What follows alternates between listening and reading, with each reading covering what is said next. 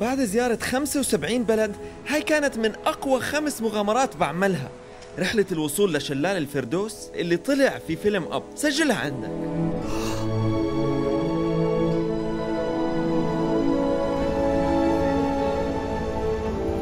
اللي عجبني مش الشلال لحاله وإنما كمان رحلة القارب للشلال. الفندق البحيرة جنب الفندق أهل المكان كل شي بالرحلة كان حلو. احكي لي بالتعليقات شو السبب اللي بيمنعك تروح اليوم؟ لأنه